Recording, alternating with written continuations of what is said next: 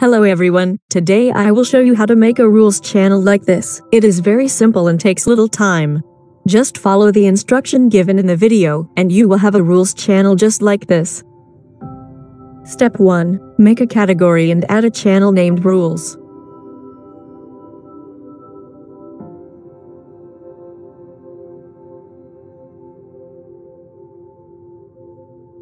Step 2. Make a webhook integration and copy the webhook URL to your clipboard.